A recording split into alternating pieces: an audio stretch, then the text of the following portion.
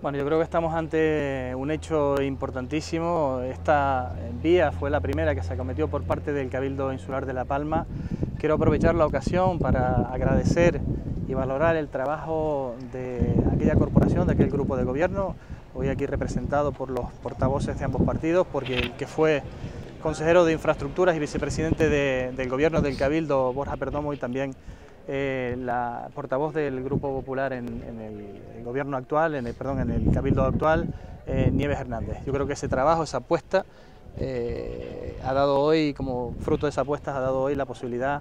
de tener esta vía de comunicación, que es mucho más que eso, al final es un corredor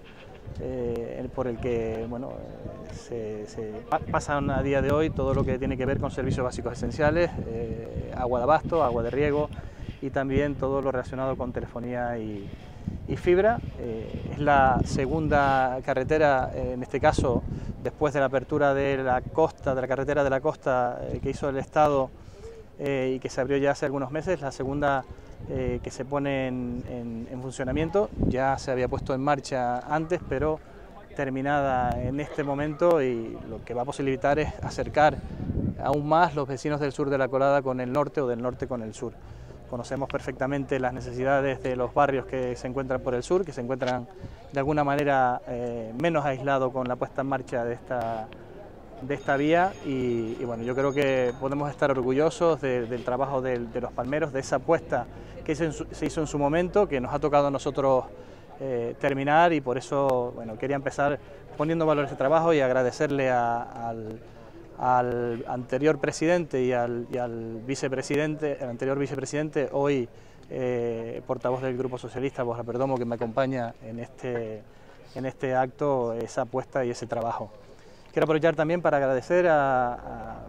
las dos empresas que lideraron eh, esta construcción, la constructora Dos Tumbos y también la constructora eh, Amagar, y a todas las subcontratas que han participado en, la construcción de la misma. Eh, también a todo el personal técnico que ha lógicamente contribuido eh, para desarrollar este, este, proyecto, una obra que se ejecutó por, por emergencia y que bueno, eh, ustedes comprobarán los resultados ahora cuando, cuando podamos abrirla y, y ver, es una obra que se ha hecho en su totalidad con materiales procedentes de la misma colada, es decir, no hemos utilizado materiales de, traídos de fuera, todo ha sido eh, hecho con, material procedente de la, misma colada y también es eh, la, propia eh, solución asfáltica que se, que se, pone en marcha hoy es una innovación. Ha participado también la empresa Repsol con la fórmula que teníamos que aplicar. Estamos hablando de, de un asfalto en frío ecológico que no se ha utilizado en ninguna otra carretera en, la, isla de La Palma. Eh, creo que también nos da la oportunidad de conectar eh, bueno, algunas, eh, casas que han quedado afortunadamente en pie y en eso se ha trabajado también desde el minuto uno y se ha continuado ese trabajo para que a día de hoy haya familias que tengan las posibilidades de volver a, a zonas, incluso de plantearse la recuperación de lo que tenían anteriormente. ¿no? El, hecho de tener una, una vía, eh, pues lo que posibilita también es la, la recuperación de, de, esta zona. Presidente, se cumplen dos años hoy. ¿Qué valoración hace, transcurridos dos años desde la erupción volcánica y con respecto a los compromisos que piden que se cumplan los propios afectados, que esta tarde, por cierto, tienen una reunión?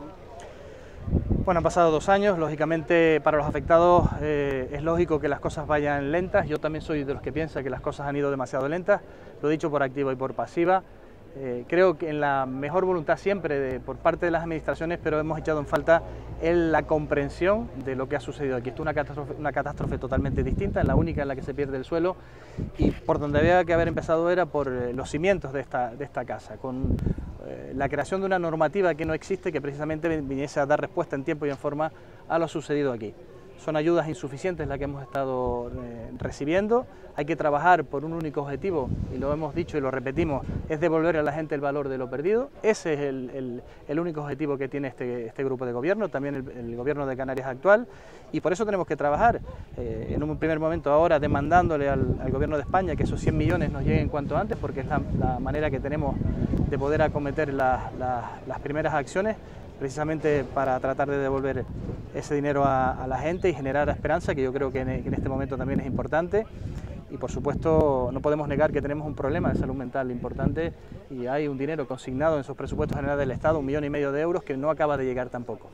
Yo lo que eh, insto de nuevo al gobierno de España es a entender la situación de la que estamos viendo. Ahí estamos viendo, hablando de personas que están mal viviendo y necesitamos lógicamente esa apuesta eh, del gobierno para ir más allá de, dar soluciones para paliar la situación que es lo que hemos hecho hasta ahora. Nosotros no decimos que no hayamos recibido más de 600 millones de euros, pero esos 600 millones de euros, eh, la gran parte de ellos han sido para eh, paliar situaciones de emergencia como tiene que, ser, tiene que hacer cualquier administración en una situación como la que hemos vivido.